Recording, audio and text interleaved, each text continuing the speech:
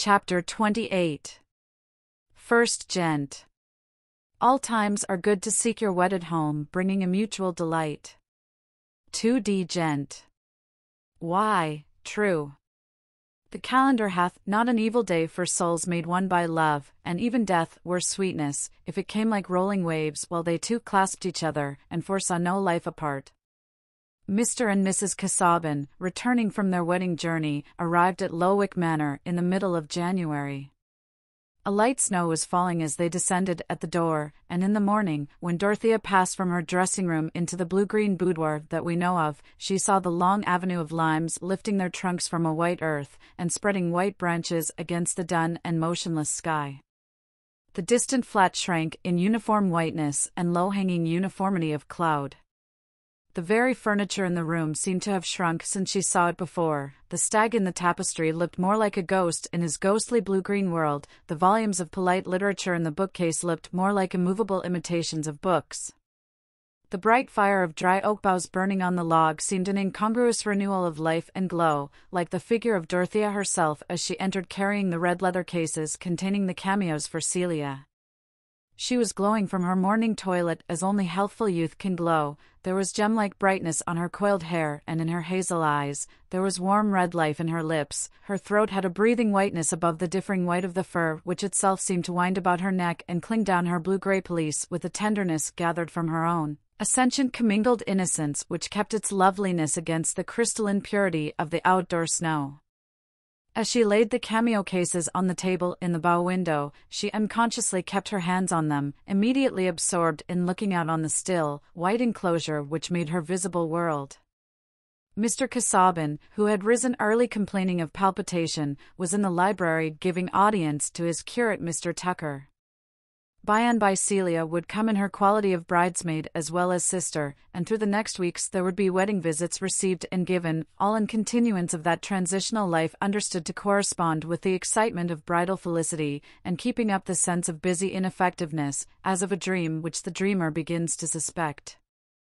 The duties of her married life, contemplated as so great beforehand, seemed to be shrinking with the furniture and the white vapor walled landscape. The clear heights where she expected to walk in full communion had become difficult to see even in her imagination. The delicious repose of the soul on a complete superior had been shaken into uneasy effort and alarmed with dim presentiment. When would the days begin of that active wifely devotion which was to strengthen her husband's life and exalt her own? Never perhaps, as she had preconceived them, but somehow, still somehow. In this solemnly pledged union of her life, duty would present itself in some new form of inspiration and give a new meaning to wifely love. Meanwhile, there was the snow and the low arch of dun vapor, there was the stifling oppression of that gentlewoman's world, where everything was done for her and none asked for her aid, where the sense of connection with a manifold pregnant existence had to be kept up painfully as an inward vision, instead of coming from without in claims that would have shaped her energies. What shall I do? Whatever you please, my dear, that had been her brief history since she had left off learning morning lessons and practicing silly rhythms on the hated piano. Marriage, which was to bring guidance into worthy and imperative occupation, had not yet freed her from the gentlewoman's oppressive liberty, it had not even filled her leisure with the ruminant joy of unchecked tenderness. Her blooming full-pulsed youth stood there in a moral imprisonment which made itself one with the chill, colorless, narrowed landscape, with the shrunken furniture, the never-read books, and the ghostly stag in a pale fantastic world that seemed to be vanishing from the daylight. In the first minutes, when Dorothea looked out she felt nothing but the dreary oppression, then came a keen remembrance, and turning away from the window she walked round the room. The ideas and hopes which were living in her mind when she first saw this room nearly three months before were present now only as memories, she judged them as we judge transient and departed things. All existence seemed to beat with a lower pulse than her own, and her religious faith was a solitary cry, the struggle out of a nightmare in which every object was withering and shrinking away from her. Each remembered thing in the room was disenchanted, was deadened as an unlit transparency, till her wandering gaze came to the group of miniatures, and there at last she saw something which had gathered new breath and meaning. It was the miniature of Mr. Casaubon's Aunt Julia, who had made the unfortunate marriage of Will Ladislaw's grandmother. Dorothea could fancy that it was alive now, the delicate woman's face, which had had a headstrong look, a peculiarity difficult to interpret. Was it only her friends who thought her marriage unfortunate? Or did she herself find it out to be a mistake, and taste the salt bitterness of her tears in the merciful silence of the night? What breadths of experience Dorothea seemed to have passed over since she first looked at this miniature.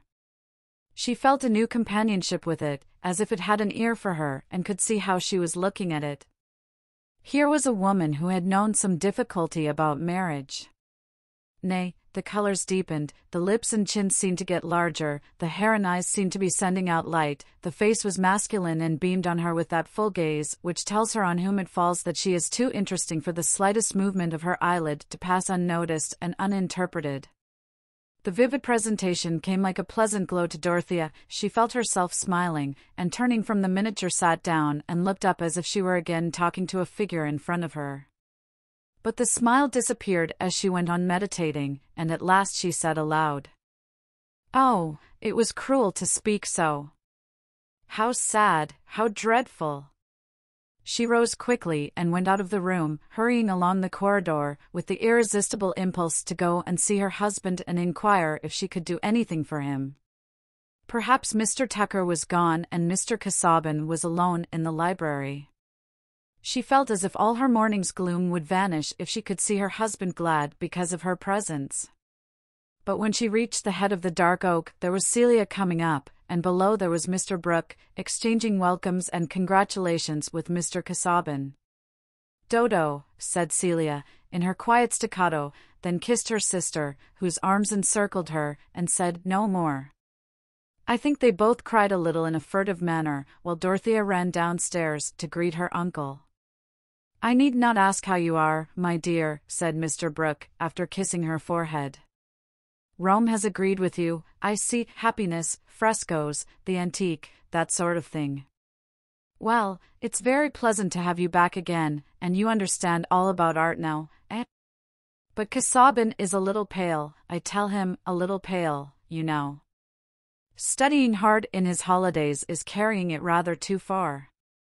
I overdid it at one time. Mr. Brooke still held Dorothea's hand, but had turned his face to Mr. Casaubon about topography, ruins, temples. I thought I had a clue, but I saw it would carry me too far, and nothing might come of it.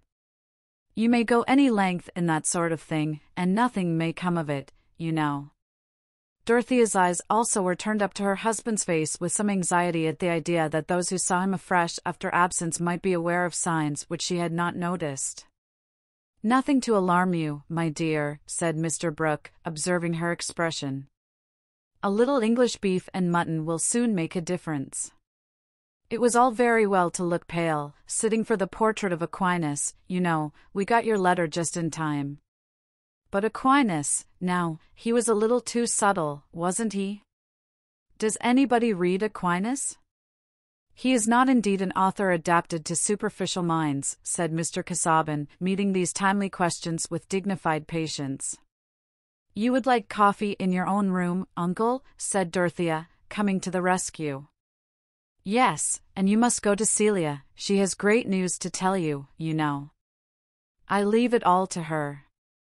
The blue-green boudoir looked much more cheerful when Celia was seated there in a pelisse exactly like her sister's, surveying the cameos with a placid satisfaction, while the conversation passed on to other topics. Do you think it nice to go to Rome on a wedding journey? said Celia, with her ready delicate blush, which Dorothea was used to on the smallest occasions. It would not suit all, not you, dear, for example, said Dorothea, quietly. No one would ever know what she thought of a wedding journey to Rome. Mrs. Cadwallader says it is nonsense, people going a long journey when they are married. She says they get tired to death of each other and can't quarrel comfortably as they would at home. And Lady Chettam says she went to Bath. Celia's color changed again and again, seemed to come and go with tidings from the heart, as it a running messenger had been. It must mean more than Celia's blushing usually did. Celia! Has something happened? said Dorothea, in a tone full of sisterly feeling. Have you really any great news to tell me? It was because you went away, Dodo. Then there was nobody but me for Sir James to talk to, said Celia, with a certain roguishness in her eyes. I understand. It is as I used to hope and believe, said Dorothea, taking her sister's face between her hands and looking at her half anxiously. Celia's marriage seemed more serious than it used to do. It was only three days ago, said Celia. And Lady Chettam is very kind. And you are very happy? Yes. We are not going to be married yet. Because everything is to be got ready. And I don't want to be married so very soon, because I think it is nice to be engaged. And we shall be married all our lives after. I do believe you could not marry better, Kitty. Sir James is a good, honourable man, said Dorothea, warmly. He has gone on with the cottages, Dodo. He will tell you about them when he comes. Shall you be glad to see him? Of course I shall. How can you ask me? Only I was afraid you would be getting so learned, said Celia, regarding Mr. Casaubon's learning as a kind of damp which might in due time saturate a neighbouring body.